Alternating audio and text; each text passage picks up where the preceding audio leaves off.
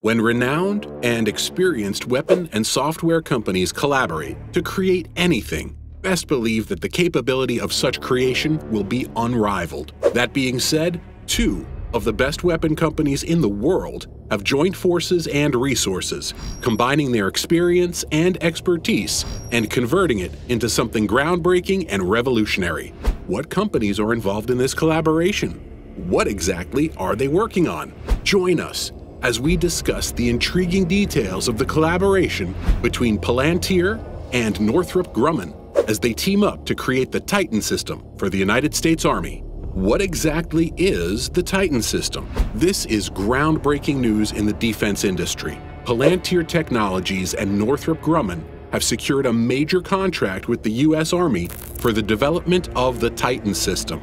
This partnership will bring cutting-edge technology to the forefront of military operations, enhancing capabilities and efficiency like never before. The Titan system, designed to provide real-time information and intelligence to troops on the ground, will revolutionize the way missions are conducted and ultimately improve the safety and security of our armed forces. Palantir's expertise in data analysis and Northrop Grumman's innovative solutions make them the perfect team to tackle this critical project. Together, they will ensure that our military has the tools they need to stay ahead of the curve in an ever-changing world. This contract win solidifies Palantir and Northrop Grumman's commitment to national defense and showcases the power of collaboration in developing top-notch technology to those who serve our country.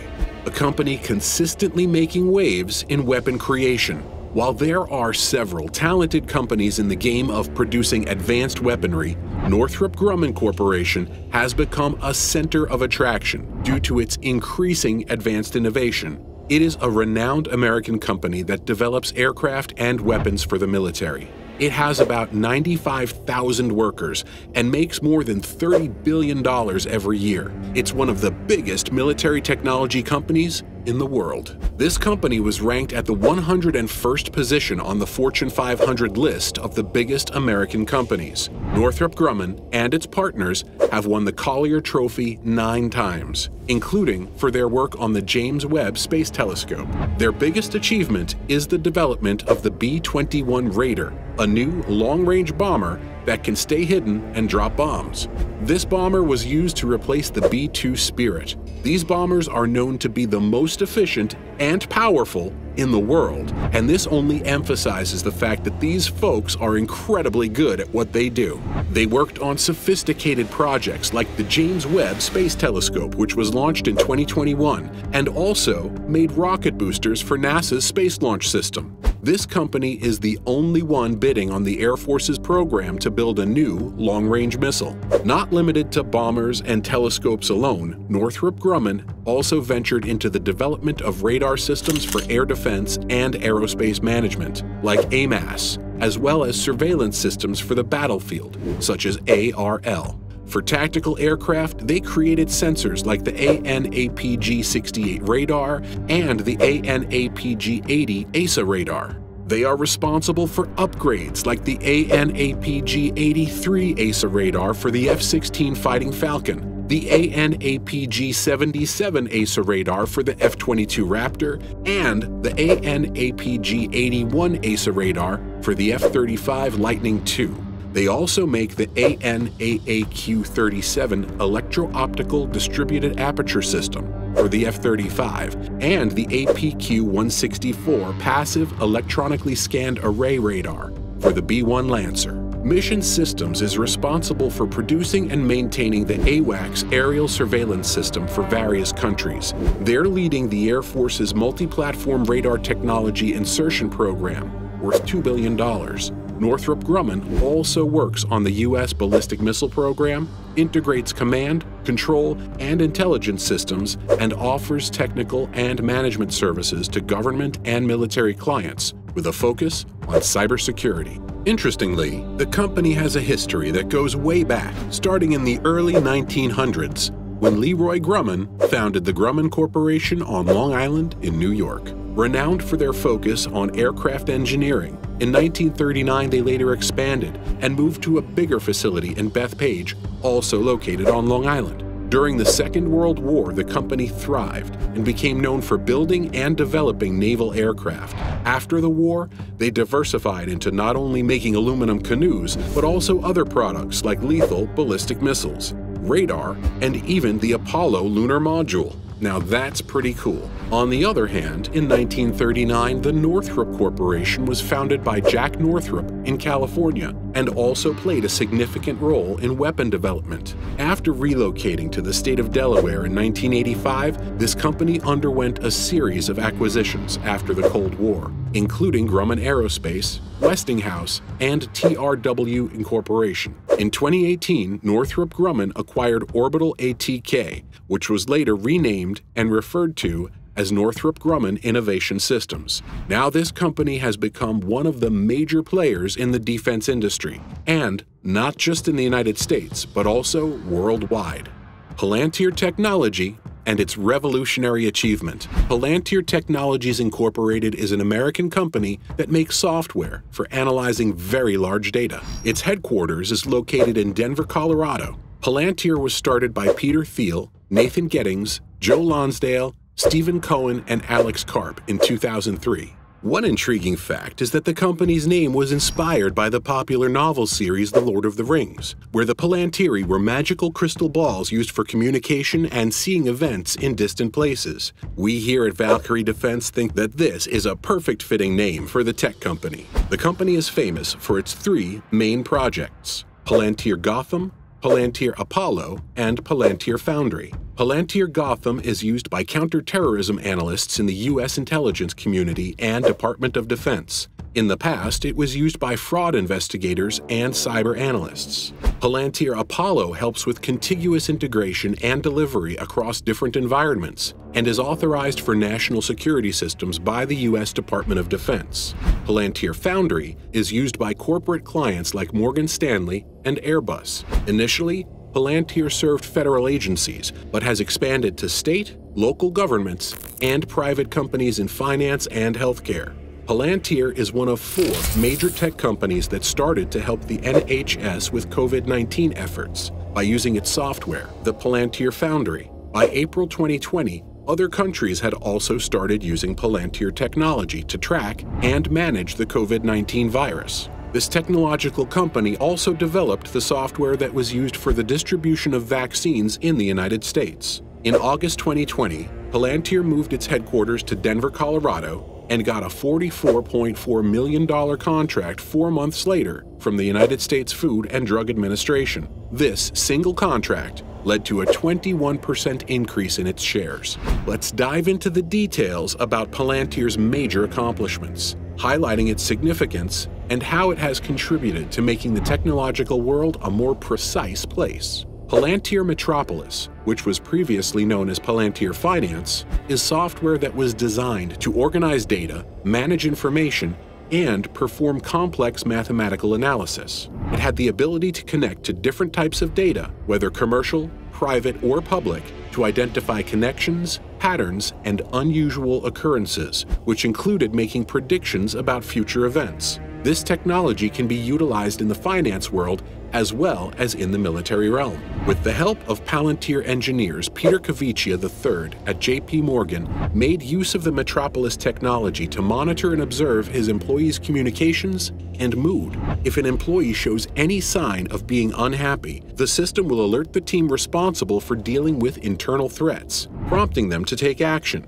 The team would then go ahead and investigate the issue, and they might even go as far as conducting surveillance outside of work hours. Metropolis would also look through various sources like emails, downloaded files, internal browsing history, and GPS locations from company owned smartphones, as well as transcripts of phone calls that were made. All this is done to analyze this information for specific words, phrases, or behavioral patterns. In 2013, Cavicchia shared this information with the CEO of First Data Corporation, Frank Bisignano. Now to the next innovation on the list, Palantir Apollo. It is a system that ensures that Palantir Gotham and Foundry are continuously updated and deployed. This technology was created because customers sometimes make use of different cloud platforms, and Apollo software works to manage the changes and updates to those platforms. With a microservice setup, this technology enables Palantir to offer software as a service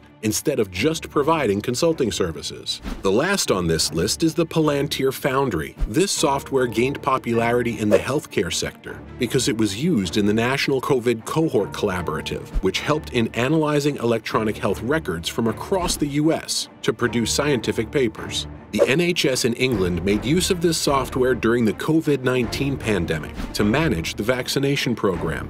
However, in June 2021, Foxglove, a technology justice nonprofit, criticized Palantir for its past contracts causing harm. Clive Lewis supported the criticism by stating that Palantir had a negative track record. Nevertheless, these claims were without substantial proof and faded with time. In November 2023, NHS England awarded Palantir a £300 million contract for a data platform, but this decision faced criticism from medical and cybersecurity professionals.